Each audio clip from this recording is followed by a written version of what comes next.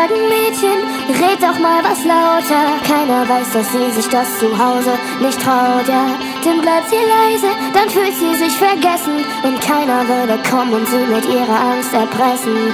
Sie schreit, ey Mädchen, du siehst echt immer fetter aus. Keiner weiß, dass sie nur ist, damit er sie nicht mehr missbraucht. Mama hat zugenommen und das macht ihn nicht mehr geil. Also muss das Mädchen sich das Badewasser mit ihm teilen. Du kannst mir nicht wehtun,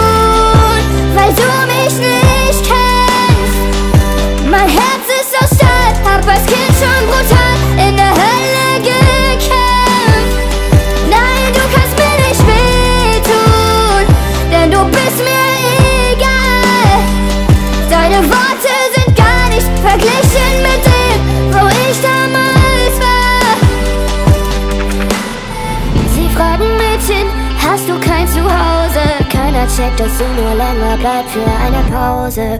Denn wenn sie heimkehrt, schläft sie nicht gut ein. Denn nachts kommt er ganz leise in ihr Bett und überhört ihr Nein.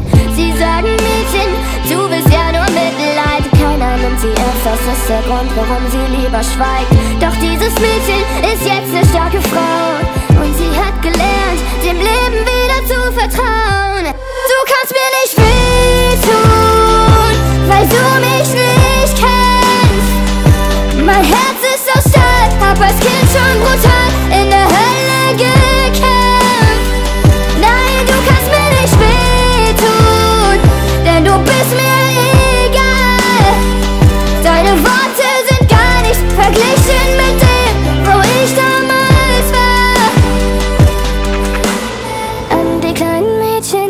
Und die kleinen Jungs da draußen ohne Schutz. Nein, du bist nicht dran schuld, warum?